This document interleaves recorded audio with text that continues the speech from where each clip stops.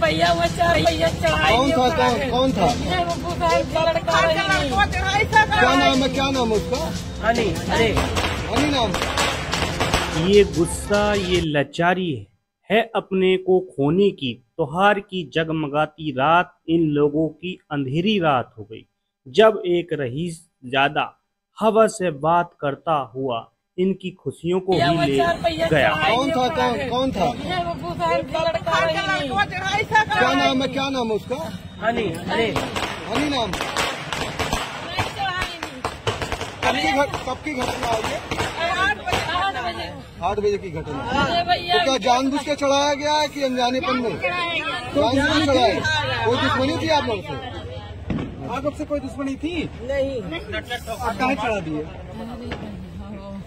चलिए ठीक है कोई बात नहीं आप लोग परेशान ना होइए आपके पति थे वो? ये महिला ज्ञानवती देवी बार बार कह रही है कि वो आया और इनके पति को रोन दिया उनकी खुशियों को कुचल दिया उनके शौक को उजाड़ दिया।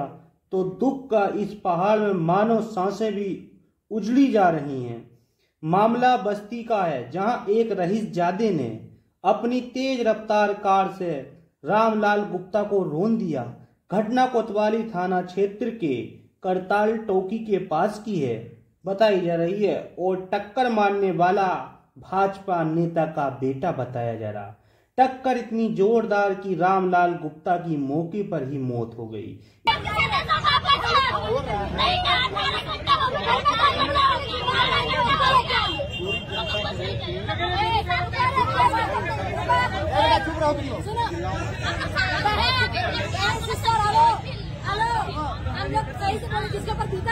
हम लोग है ना ड्यूटी कर रही है लेकिन हम लोग तो करना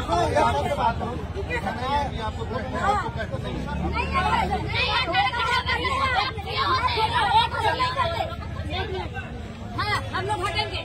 आप उसको यहाँ पेश करिए तब तक लाश नहीं जाएगी चाहे आप यहाँ कल तक गाड़ी में हम लोग बैठेंगे ये लोग सबको लेकर सड़क पर बैठ गए। पुलिस की कोई कार्रवाई नहीं होने पर परिवार ने हंगामा किया।